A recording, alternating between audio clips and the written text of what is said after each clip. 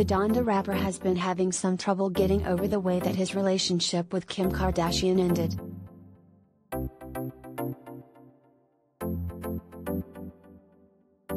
Breakups are never easy.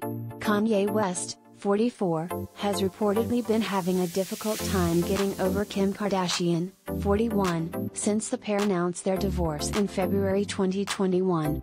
A source close to the rapper revealed to Hollywood Life exclusively that Ye has been having a hard time, dealing with the split, and his feelings for his ex and the mother of his four children will never go away.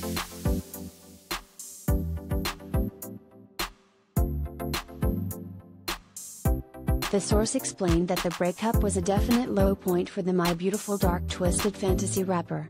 Kanye doesn't like losing and the way that the relationship has dwindled is one of the biggest tells Kanye had ever dealt with, they explained. Journeying out into the dating world will be done and Kanye knows that he will have many options based on his celebrity but to have lost and broken things with Kim is something he will never get over.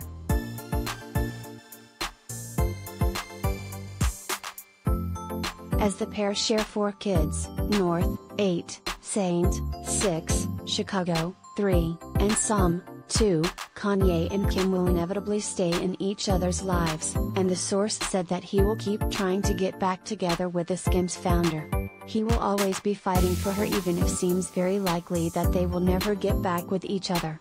And the fact that he will be in her life forever because of the kids just stresses things even more that he will never not be in love with her, he will always be trying to win her back day in and day out, the source said.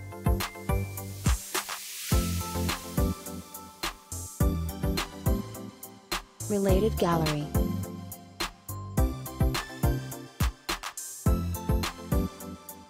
Kim Kardashian and Kanye West cutest photos with their four gorgeous kids.